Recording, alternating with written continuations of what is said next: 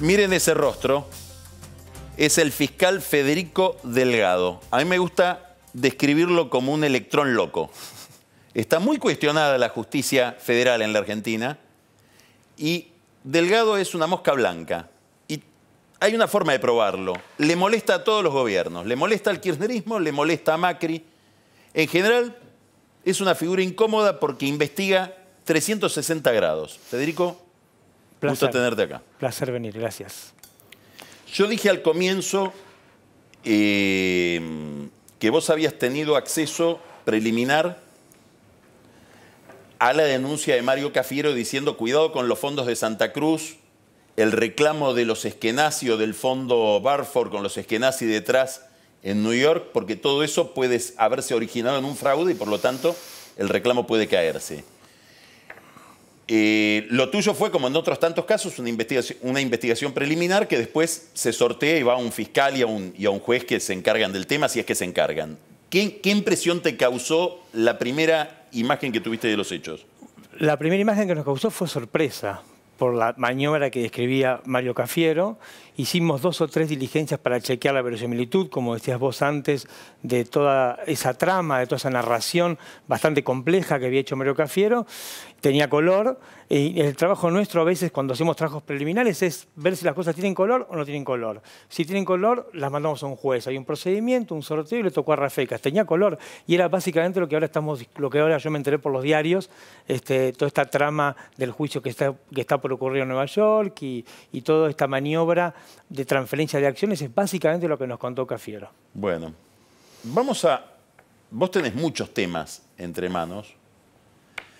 El más rimbombante hoy, el más llamativo, que es un tema de, de escala poco habitual, porque es regional, Sí, no sabemos. es Odebrecht. Creo que tengo la impresión de que hay mucha confusión respecto de lo que puede hacer la Argentina, de cuáles son los instrumentos que tienen ustedes, jueces y fiscales, para analizar este tema, cuál es la competencia del Ejecutivo en esta materia, cuál es la competencia de la justicia. Me, me gustaría que en esta charla pudiéramos esclarecer un poquito Bien, todo esto. Tratemos. Yo diría que hay dos grandes dimensiones. Sí. Una es hacia atrás y otra es hacia adelante. Hacia atrás es todo lo que tiene que ver con el Código Penal, que son los comportamientos que Odebrecht reconoció que podrían ser delitos y que ofreció colaboración. Y todo esto se remonta, todos conocemos la historia, porque la SEC, que es una especie de Vaticano del- para el capitalismo, este, Que es la Comisión Nacional de Valores de la Bolsa de New York, de para New York, decirlo claro. digamos, este, fue quien descubrió las trapisondas de Odebrecht. Odebrecht reconoció su responsabilidad, indemnizó lo que tenía que indemnizar y se comprometió a ir por el mundo contando sus pecados. Llegó a la Argentina, contó sus pecados, entonces para atrás son cosas que tiene que resolver el sistema judicial. Ahora, hacia adelante... Odebrecht dijo, Marcelo Odebrecht, nosotros conseguimos contratos en la Argentina por 35 millones de dólares. Exactamente, porque Odebrecht lo que hizo fue exportar un sistema informalmente institucionalizado para conseguir contratos de obra pública a través de sobornos. Lo hizo en Brasil, lo hizo en Perú, en Colombia, en Dominicana, en Ecuador, en Argentina, etc. Ahora, Odebrecht no deja de ser una empresa multinacional que como tal quiere seguir trabajando y ganando dinero. Entonces tiene un problema hacia adelante, tiene que resolver cómo sigue su relación con el Estado argentino. Y esa es una competencia del Ejecutivo, porque la Argentina tiene un registro, una lista de empresas que pueden contratar. Y para entrar en esa lista hay que cumplir determinados requisitos. Y esa, ese problema es un problema que tiene que resolver el presidente Macri, eventualmente con el Congreso. Ahora te hago una pregunta. Sí. Margarita Stolbizer dice, si Odebrecht dice que estos tres grandes contratos, vamos a mencionarlo, uno es la expansión del gasoducto del sur. Así es. El otro es una gran planta potabilizadora de Paraná de las Palmas, Sí. Que la hace AISA, AISA. que es el que estás investigando vos centralmente. Y después el soterramiento del Sarmiento. Sí. Estos tres contratos. Así es. Pagué coimas para conseguirlo. Ella dice, bueno, habría que suspendérselo ya.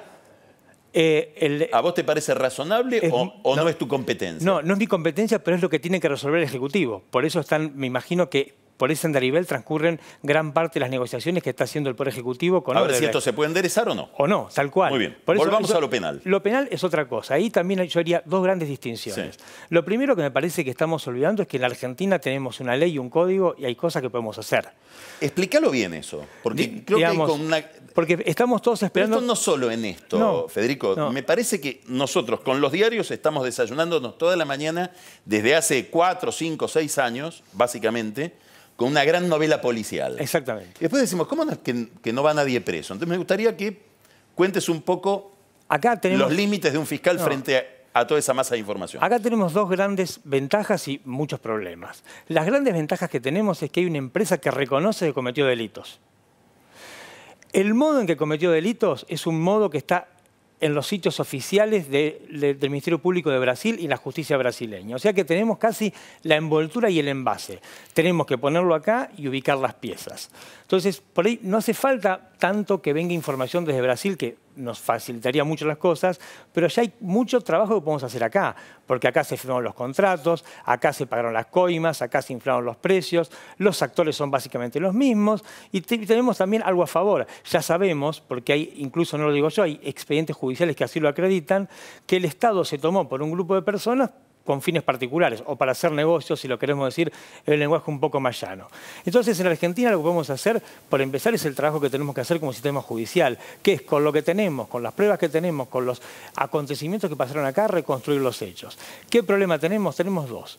El primero, que es, un- es estructural de la Argentina, y es que la verdad histórica y la verdad judicial se llevan mal A ver, digamos. La verdad histórica uno puede pensarla como un proceso en el que las necesidades de políticas públicas para este, satisfacer demandas, como por ejemplo el agua potable, tener más energía, este, tener mejores trenes, eran reales y también la, la verdad histórica nos revela que esas necesidades se tomaron como un objetivo para, además de intentar hacer obras, de paso hacer negocios. Ahora, la verdad judicial no siempre coincide con esa verdad histórica. Y es un problema grande que tenemos, estructural, y que tenemos que resolver de alguna manera los argentinos, que es lo que está haciendo Brasil un poco.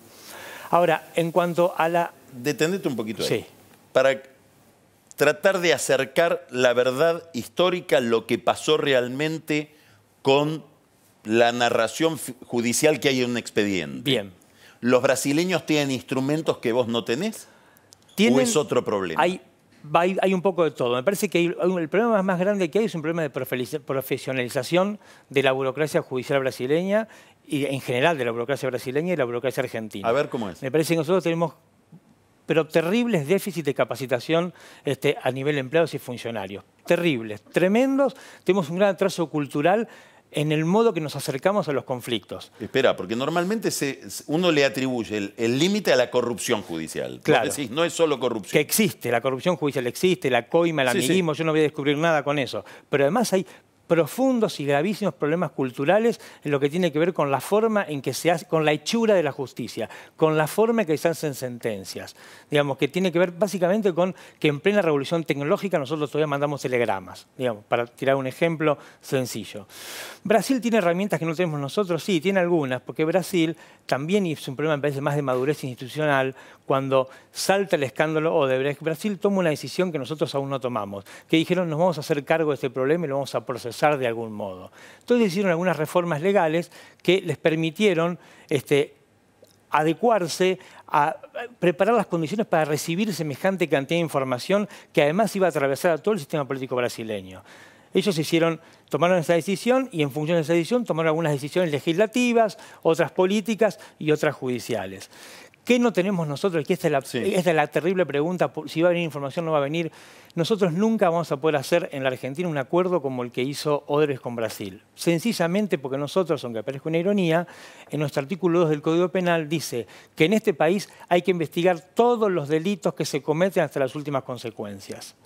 Nosotros no podemos elegir qué investigar o qué no, porque es un rasgo del sistema jurídico continental que lo importamos de Francia y que, digamos, nos ponemos una vara muy alta. O Vamos sea, a vos es que es muy difícil que alguien diga, yo te voy a contar cómo fue este negocio, pero a mí aliviame la pena. Se puede aliviar la pena, pero lo que pasó en Brasil es que algunos los eximen de pena.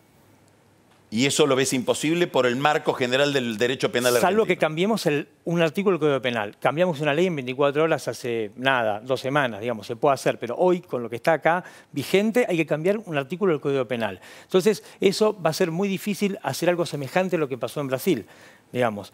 Pero además de, sacando Sí. ese problema, que es la variable externa, la variable exógena, digamos, nosotros tenemos ya un montón de información para ir procesando y tenemos algunos indicios que nos permitirían avanzar como Estado Nacional, como, perdón si me sale un rasgo un poco nacionalista, pero me parece que si el Estado Nacional, que tiene el monopolio jurídico legítimo de la fuerza, no puede juzgar un delito que se cometió hace 10 años, no tiene capacidad para reunir información, para cruzar datos, para establecer que los mismos actores, en circunstancias parecidas, los mismos intermediarios, hicieron con plata pública, obras por la mitad, no podemos reconstruir eso como verdad histórica que sea compatible con la verdad judicial y tenemos un problema gravísimo, pero gravísimo como Estado. Y eso es lo que más me alarma. A vos la semana pasada te dieron la posibilidad de conectar cosas que estaban desconectadas, porque digamos que acá no hay tres contratos solamente, Exactamente. sino que son tres causas con tres jueces y tres fiscales. Esa es una de las grandes tragedias de Argentina es que fragmentamos las historias yo, vos puedes ver una foto mía de cuando tenía 10 años y vas a decir, era así, el pibe era muy lindo, feo, morocho, rubio, pero no ves nunca el álbum.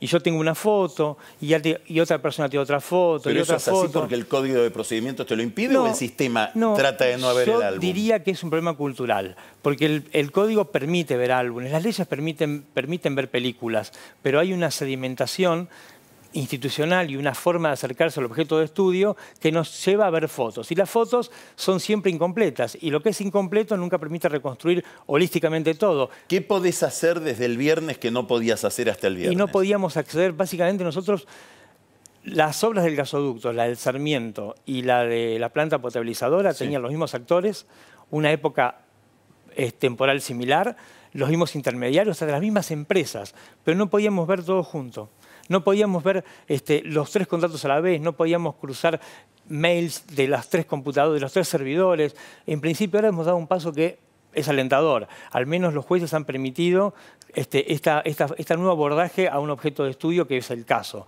Vamos a ver cómo sale, pero en principio eh, es interesante haber planteado y haber tenido suerte con que vamos a poder tratar de construir toda la película más allá este, de los fragmentos de los expedientes. ¿Hay algo que creo que vos te referiste en alguna entrevista en, las últimas semanas, que sucedió tan llamativo. A ver.